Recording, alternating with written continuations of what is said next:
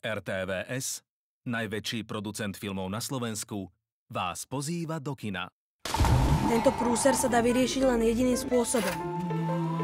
Mám to stále ako na tak mi odpovedz, či som milovaný tebou,